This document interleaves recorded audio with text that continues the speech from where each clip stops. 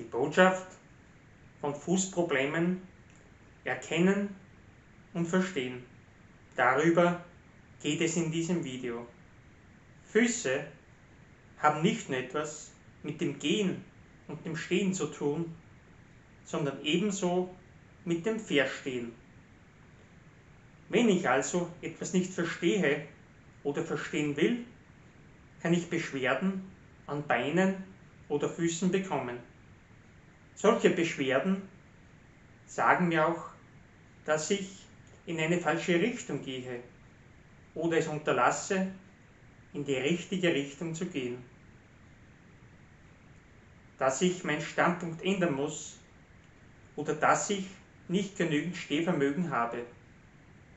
Vielleicht bin ich auch schon zu weit gegangen.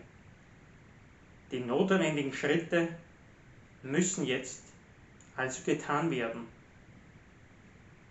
In jedem Fall also muss ich meinen Weg überdenken und prüfen, ob meine Schritte wirklich zum Ziel führen, ob mein Standpunkt richtig ist und auch, ob ich genügend Stehvermögen entwickelt habe, um die Schwierigkeiten auf dem Weg zum Ziel zu überwinden.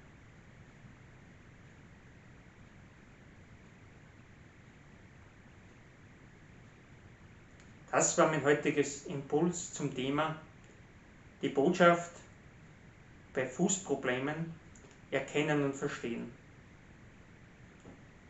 Wenn dir das Video gefallen hat, freue ich mich sehr ein Gefällt mir. Abonniere den Kanal für weitere Video-Updates. Gerne kannst du das Video auch auf Facebook teilen. Und wir sehen uns dann im nächsten Video. Dein Martin.